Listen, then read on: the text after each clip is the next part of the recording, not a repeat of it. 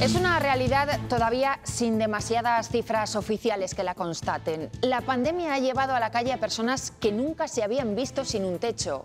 En 2020 los albergues de Castilla y León tuvieron una ocupación de casi el 80%.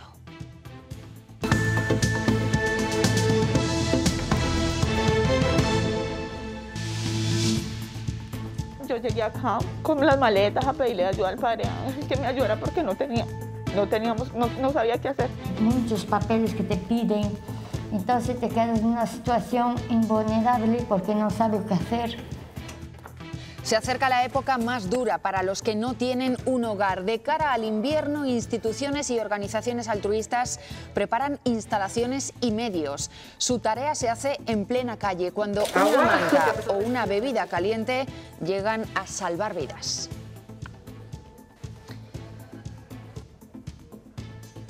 Muy buenas noches. Estamos inmersos en uno de los últimos puentes del año y el sector turístico celebra el movimiento que hay en nuestras calles. A pesar de que las previsiones del tiempo indican lluvias y ambiente gris, los viajeros no se han quedado en casa. Salamanca, Lidia Bartolomé. Sí, y eso se ha notado y se sigue notando a estas horas en las calles de Salamanca, donde hay un gran ambiente, porque además aquí la lluvia ha respetado. La ocupación media para estos días es del 90% y hoy y mañana los hoteles han colgado el cartel de completos, algo que también se ha visto reflejado en la hostelería, donde hoy era complicado encontrar una mesa libre en el interior de los establecimientos. Una brutal pelea, según los testigos, ha acabado con dos hombres en el hospital con heridas graves. Ocurrió anoche en una zona de copas de Pedrajas, en Valladolid. Uno de los agresores ya ha sido identificado y está en busca. Hoy volvemos a la zona de Velilla, en Palencia, que esta semana se ha quedado sin la emblemática torre de la central térmica. Al margen de la modificación evidente del paisaje, cambia también el futuro de la localidad y quedan en el aire los recuerdos de toda una generación. Yo bueno, eh, vine de la mili, estuve trabajando por aquí un poco y luego ya me metí ahí en la térmica y aquí he pasado los 40 años y he hecho mi familia y vamos, como la mayoría de la gente. Ya ha comenzado la cuenta atrás para la próxima edición de Seminci, porque esta noche en Valladolid se ha clausurado el festival. Hoy hemos conocido a los ganadores de las espigas y acabamos de disfrutar en directo aquí de la gala de cierre. Vamos hasta allí, Andrea Magdalena. Sí, gala de clausura y entrega de la última espiga de honor que faltaba para el director de fotografía italiano Vittorio Storaro, una leyenda del cine que ha iluminado películas como El último tango en París o Novecento. Hasta la India se va la espiga de oro de esta edición que ha recogido hoy aquí su director Pan Nalin por The Last Film Show y la de plata se queda en España por Sis Dies Corrents de la directora catalana Neus Bayús, también presente en esta gala. La jornada del domingo volverá a estar marcada por un tiempo desapacible en toda la comunidad. Siguen las precipitaciones que volverán a ser abundantes en la zona sur de Ávila y de Salamanca.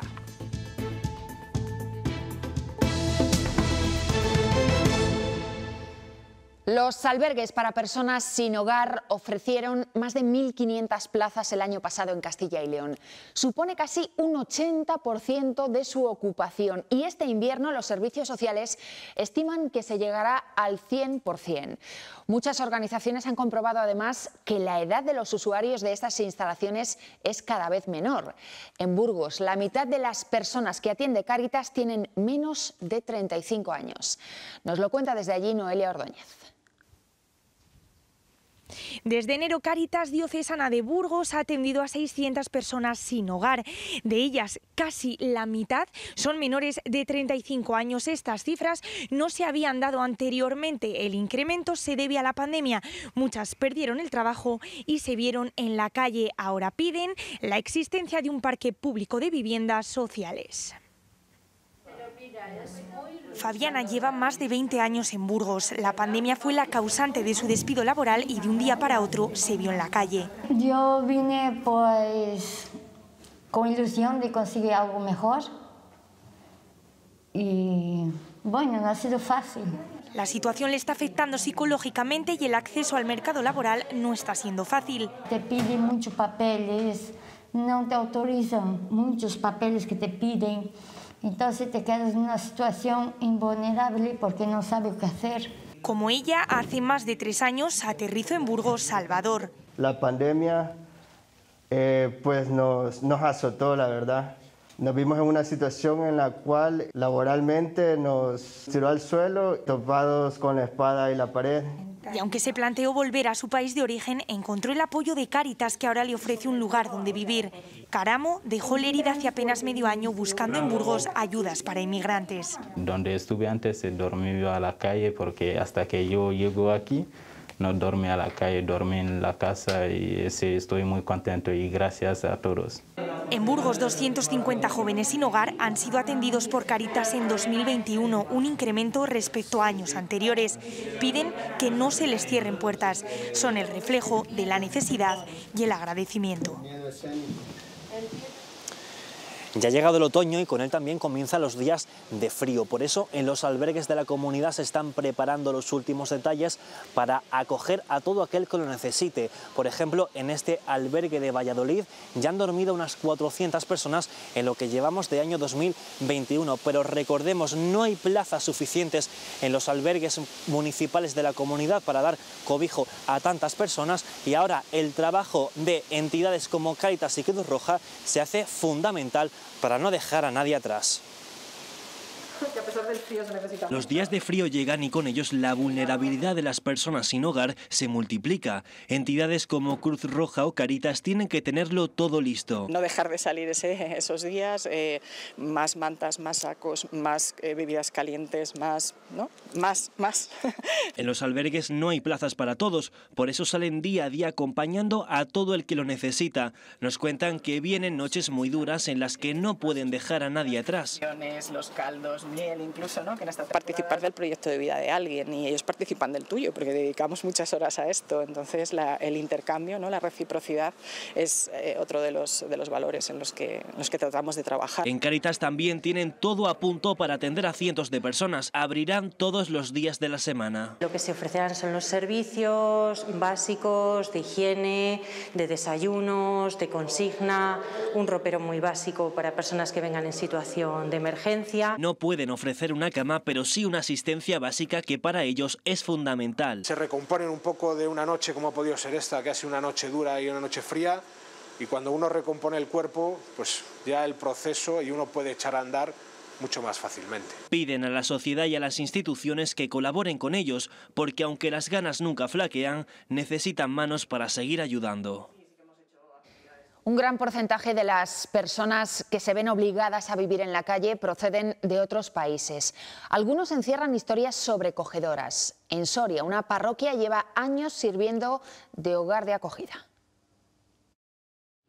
Cuando comenzaron a extorsionar a Eric y a su familia, este joven salvadoreño de 32 años no dudó en dejar su vida en su país de origen para venirse a España. En nuestro país estamos como con mucha violencia y tratamos de buscar un, una, un, una oportunidad diferente. Ahora se encuentra en mitad del proceso para poder trabajar. Y nosotros tenemos muchos talentos que podemos aportar bastante a la sociedad de España. Huir de la violencia también fue el motivo por el que Karen dejó Colombia en septiembre junto a sus dos hijos. Nos tocaba pagar mucha extorsión, teníamos una microempresa, empezaron a amenazarnos que nos iban a matar o que nos iban a hallar el niño para las filas. Además, sus dos pequeños ya han empezado a ir al colegio. El padre nos acogió, él nos ha ayudado con con todo el tema de, de, las cosas de los niños del colegio. Y la idea, claro, es buscar trabajo, es esa. El padre Ángel acoge ya a 17 personas sin hogar. Hay espacio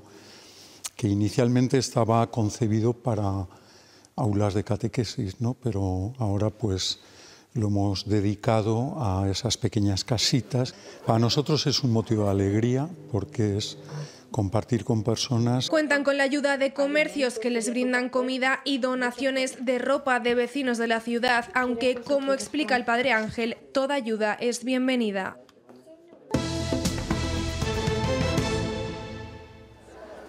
Las previsiones de lluvia no han deslucido el turismo en este puente de los Santos. Estas imágenes son de Salamanca, calles y monumentos llenos desde primera hora.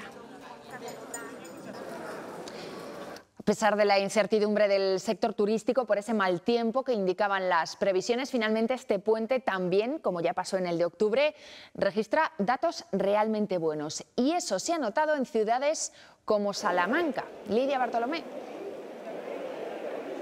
Sí, aquí además la lluvia ha respetado durante todo el día y eso ha permitido a los turistas poder salir y disfrutar con más tranquilidad de la ciudad. Aunque si algo había quedado claro es que ese posible mal tiempo no les importaba demasiado porque la ocupación media aquí es del 90% y para los días centrales los hoteles han colgado el cartel de completos, algo que también se ha reflejado en la hostelería donde hoy era difícil encontrar una mesa libre en el interior de los establecimientos. Por su parte, los visitantes proceden en su mayoría de la Comunidad de Madrid y con los que hemos tenido la oportunidad de hablar nos han confesado que cuando hay ganas de desconectar el mal tiempo importa poco.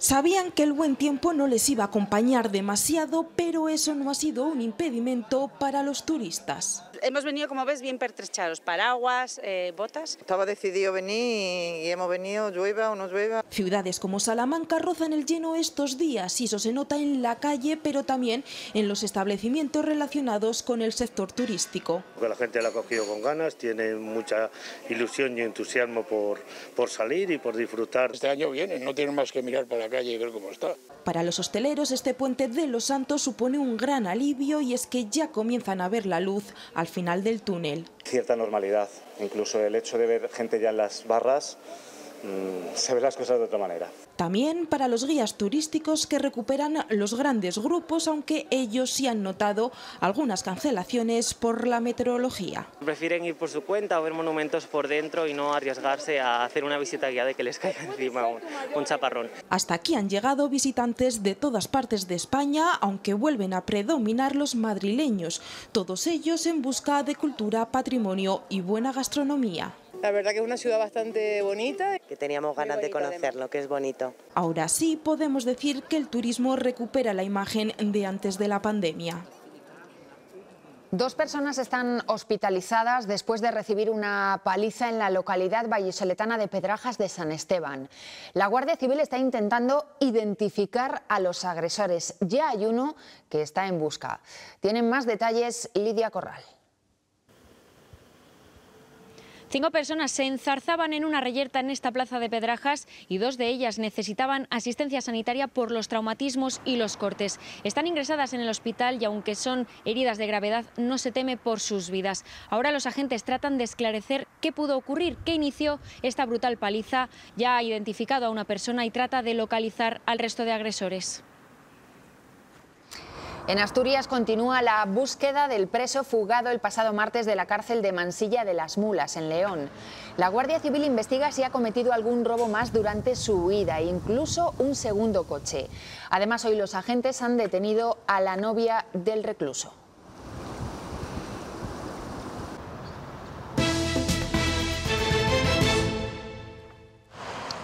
Más de medio siglo de historia reducido a escombros. Son los restos de la torre de refrigeración de la central térmica de Velilla, en la montaña palentina. 82 kilos de explosivos hicieron el pasado jueves que se viniera abajo en cuestión de segundos. La torre ya es pasado, como lo es la central que dio vida a la comarca durante décadas, y ahora lo único que importa es el futuro. Un futuro incierto y lleno de interrogantes. Aún no hay una alternativa clara que sustituya el empuje que dio la térmica. Solo proyectos que no parece que puedan servir para devolver la vida a esa zona. Allí ha estado Álvaro Lantada. Para revitalizar la zona de momento solo hay ideas, algunos proyectos, alguno incluso tutelado por la propia Iberdrola que querría instalar en las inmediaciones de Velilla del Río Carrión un gran parque fotovoltaico, quizá uno de los más importantes de Castilla y León y de toda España. El ayuntamiento del municipio busca también financiación para instalar un gran teleférico e incluso mantiene contactos telefónicos con empresas que podrían querer invertir en esta misma superficie hasta 42 millones de euros. Hablamos de una empresa papelera, una fábrica de reciclado de bolsas, incluso de una fundición de aluminio. Es la historia de la térmica en cinco segundos de imágenes, los mismos que tardó en venirse abajo tras su voladura. ¿Y qué les vamos a pedir? Que nos den algo de trabajo por aquí. Porque esta zona entre las minas que han terminado y, y ahora la térmica, quedamos muertos. ¿Qué trabajos hay? Ninguno. La juventud se tiene que largar. Eh, hay más mayores que, que críos. Entonces, velilla a morir. El cambio drástico en el skyline de Velilla ya es secundario. Lo fundamental ahora es reemplazar al que ha sido el motor económico de toda una comarca desde 1965. Algunas apuestas eh, bastante ambiciosas, como puede ser el teleférico. Proyectos que deberían ser verdes. Iberdrola ha planteado para la zona uno de los mayores complejos fotovoltaicos de la región, 300 millones de euros. Hay un proyecto, de hecho, eh, que es una papelera, es una planta de reciclado y una fundición de aluminio. Senén no se imagina Velilla sin su térmica. Trabajó aquí toda su vida, más de 40 años. Toda mi vida, toda mi vida. Yo bueno, eh, vine de la mili, estuve trabajando por aquí un poco y luego ya me metí ahí en la térmica y aquí paso los 40 años y, me- y he hecho mi familia y vamos, como la mayoría de la gente, ha dado vida a todo el entorno. Como él, los vecinos de Velilla han visto cómo con el desmantelamiento de la térmica la vida se ha detenido aquí también. La luz sigue su descenso por cuarta jornada consecutiva. Este domingo tendrá un precio medio de 79 euros el megavatio hora. No marcaba un nivel tan bajo desde agosto. Aún así, octubre tendrá la factura más cara de la historia. Superará los 100 euros.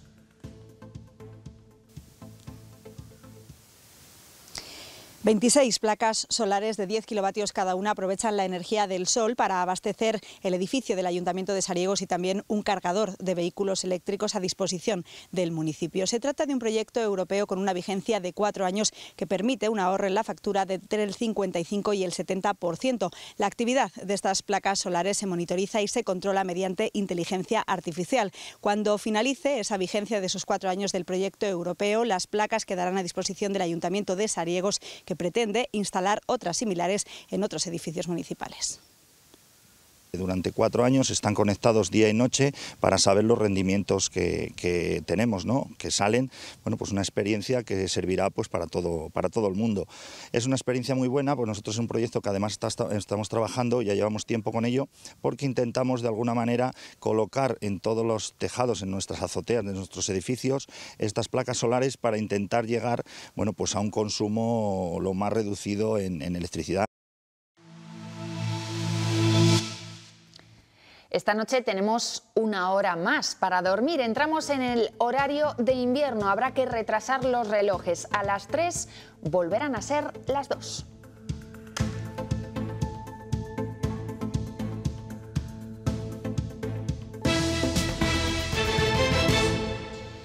La formación por Ávila ya ha manifestado que el proyecto de presupuestos para 2022 presentado por el equipo de gobierno de la Junta es insuficiente para esa provincia. Reclaman más inversiones, por ejemplo, en materia sanitaria. Priorizan la construcción de un helipuerto en el hospital. Aseguran que queda por delante un plazo de negociación y de presentación de enmiendas. Nosotros ya avanzamos que las vamos a, presentar, sobre todo dirigidas a, a nuevas inversiones para Ávila, necesarias para la provincia, para la capital, y también ejecución de las que se plasmaban en el presupuesto de 2021 y entendemos que hay que agilizar. Entonces, en esas líneas nos vamos a mover. Y de otros presupuestos, los del Estado, han hablado hoy tanto el Gobierno como el PP. Los populares han cargado contra Pedro Sánchez por el acuerdo alcanzado ayer con PNV y Esquerra Republicana para sacar adelante esas cuentas.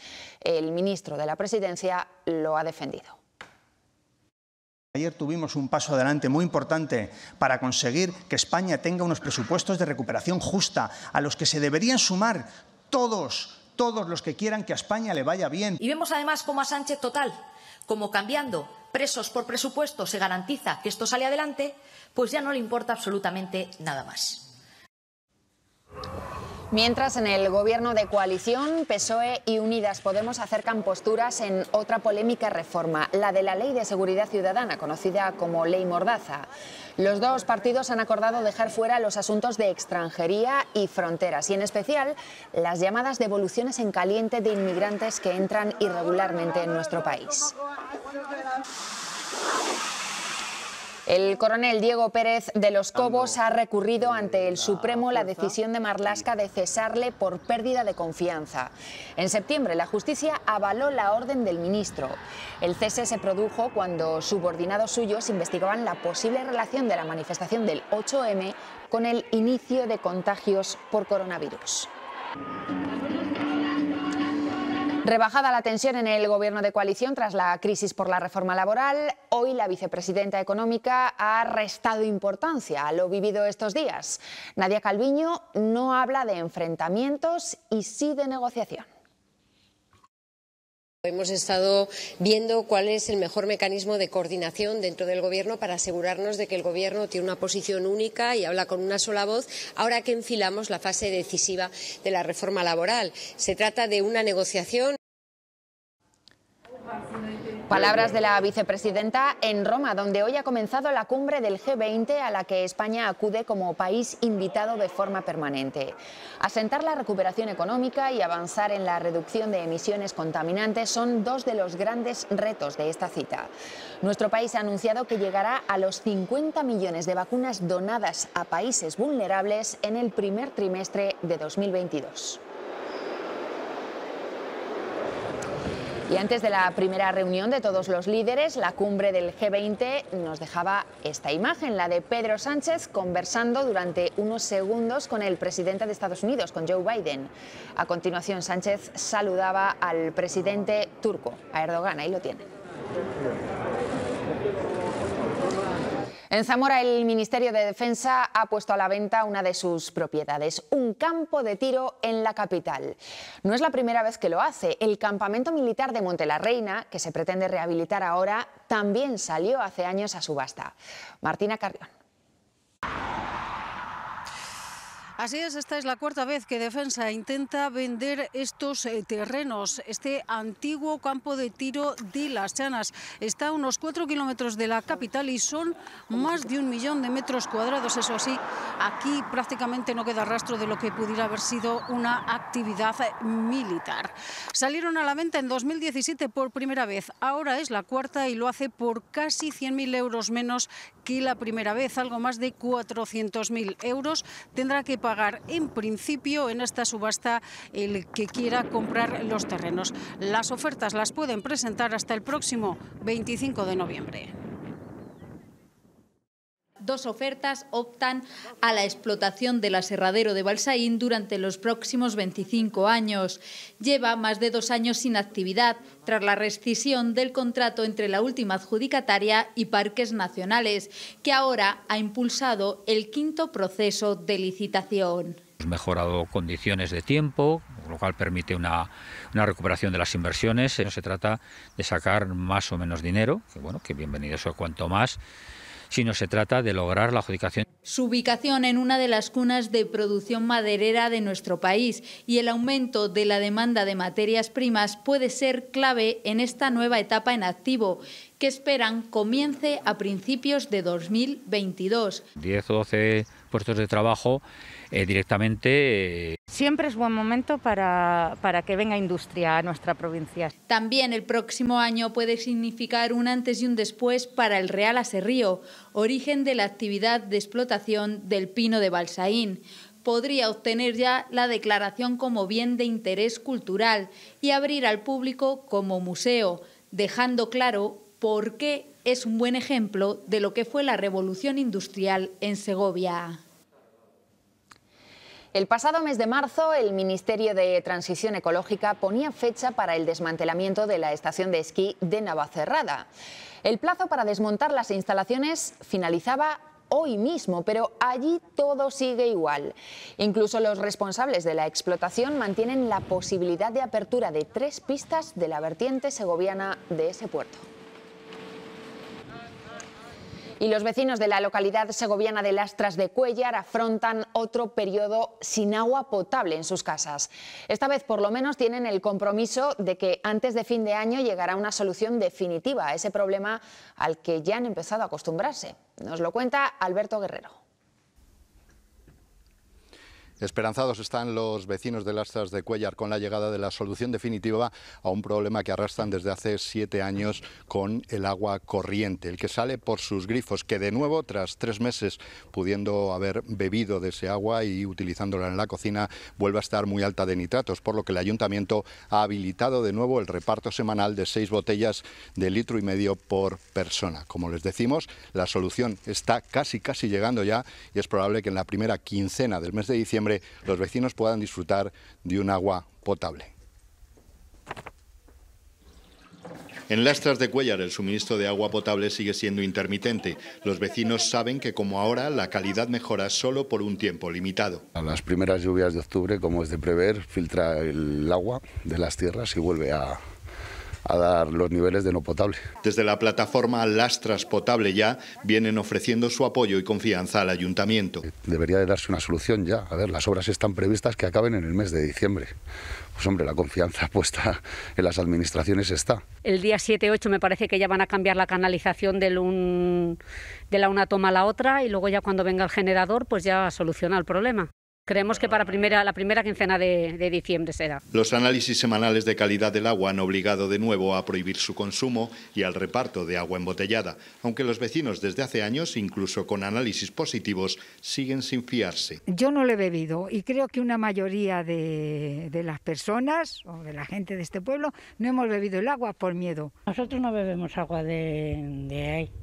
Yo bebo siempre agua comprada. Lo utilizamos para lavar. Vienen los nietos, que tengo nietos, ¿se van a limpiar los dientes? ¡No! Los vecinos esperan celebrar la Navidad con agua potable y con el buen vino que allí elaboran. En La Palma, la actividad sísmica provocada por el volcán ha dejado hoy el mayor terremoto vivido hasta la fecha. De magnitud 5 se ha llegado a sentir también en El Hierro, La Gomera y Tenerife. La lava sigue saliendo y ya son 950 las hectáreas arrasadas. La colada sur, mientras avanza hacia el mar, continúa llevándose por delante viviendas e invernaderos.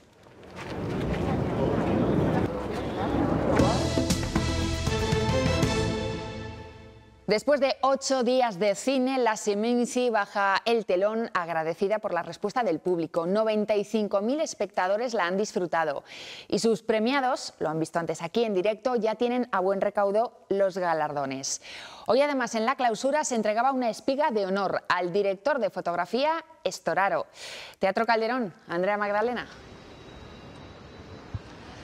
Sí, el italiano, el director de fotografía Estoraro, tiene ya más de 50 premios internacionales a su espalda por películas tan míticas como El último tango en París, Novecento o El último emperador. Hoy llegaba aquí a las puertas de este teatro acompañado de su amigo y también de su compañero Carlos Saura para recibir entre una ovación esa última espiga de honor que concede Semici que faltaba todavía por entregar.